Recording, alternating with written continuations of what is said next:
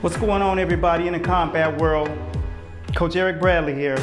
Uh, you know I got something good. I'm always bringing you something that's necessary for you guys out here in the combat world and for those who are also in the world of conditioning altogether.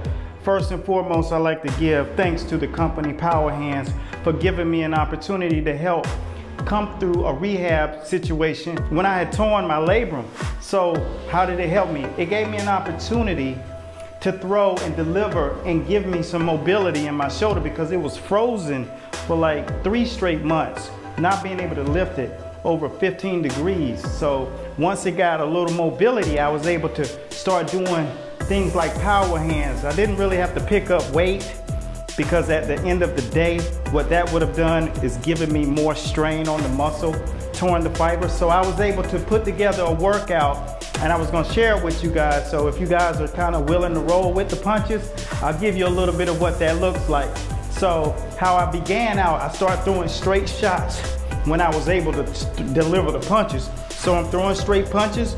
So what I did is break it down so I wouldn't overcompensate. So I went 60 punches.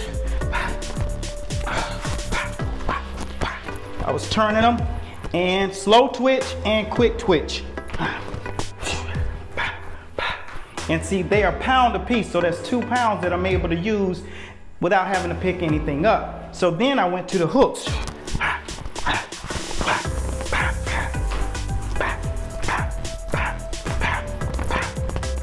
And then the last 60, I went uppercuts. And you can go fast if you want.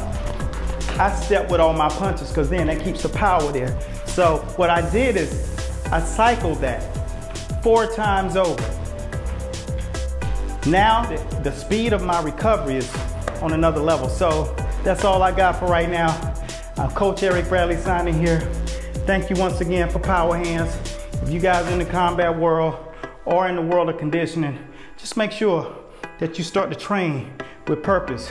And if you like the information I just gave you, click the link up above. Maybe this is a solution for you. Be blessed at God's speed. I'm out.